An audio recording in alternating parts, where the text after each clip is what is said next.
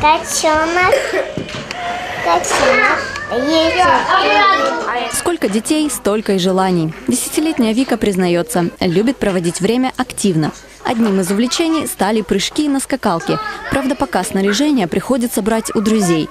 На пути к личным рекордам не хватает главного. С детства училась у друзей, как бы скакалку брала, училась сейчас учусь прыгать на скакалке. Я стремлюсь подпрыгнуть на без остановки сто раз. Юная Полина мыслит практично, совсем как взрослая. У девочки даже есть представление о желаемой профессии.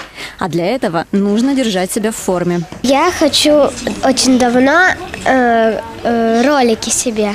Мне показала подруга, мне стало интересно, и я попробовала сама прокатиться.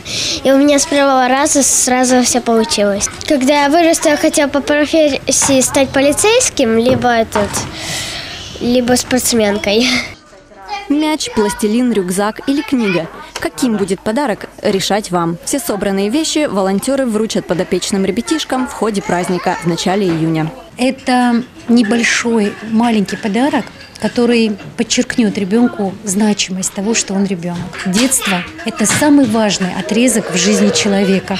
И для становления его как личности, для высоких успехов и достижений очень важно то, как ты это детство проведешь и как ты встретишь свой самый главный праздник.